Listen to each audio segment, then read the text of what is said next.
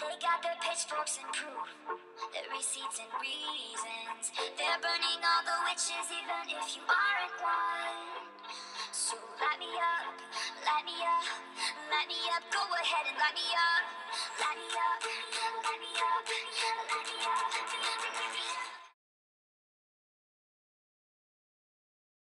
The summer of 2018 was supposed to be my best one yet. Who wouldn't want to spend their summer at the beach? But when Grandma was admitted into the hospital and they told us she was dying, my mom decided me and my twin sister should spend our summer with her in Maine instead. She also thought it would help us get closer to our father's roots, and maybe help us get closer to finding him. To be honest, I've completely lost hope. I think he's just dead. But even though he's been missing for two years, my mom hasn't stopped searching. I never really knew my grandma, and that summer was not what I expected it to be.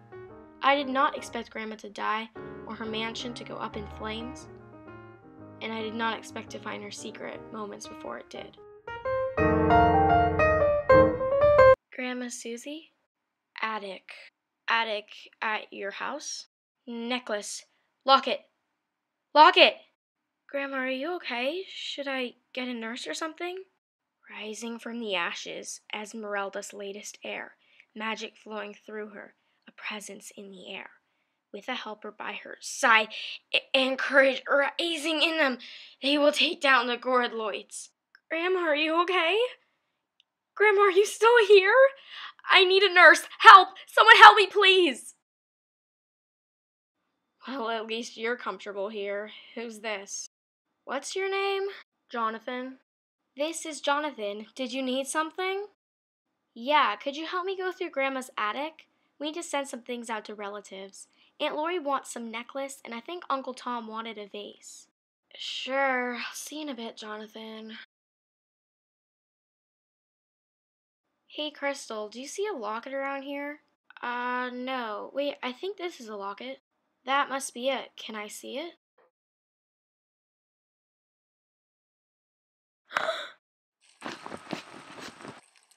Luna, I'm gonna go get help. I need to get this trunk out of here. Ah! She's upstairs in the attic.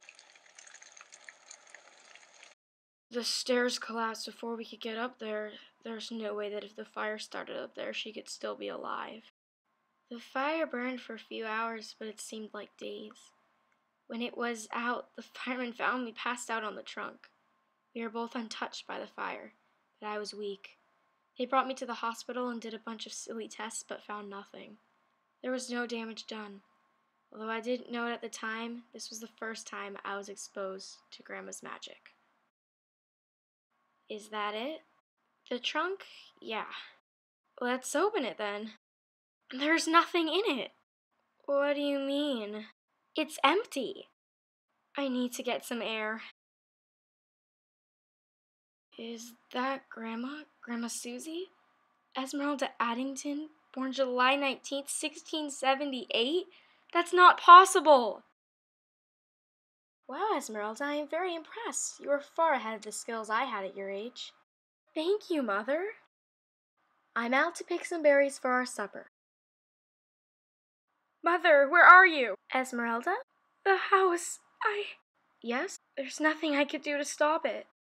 Honey? It was the tiniest flame. Oh no, everything's gone. I'm so sorry. Fire is the most deadly weapon us sorceresses have. You have to learn to control it.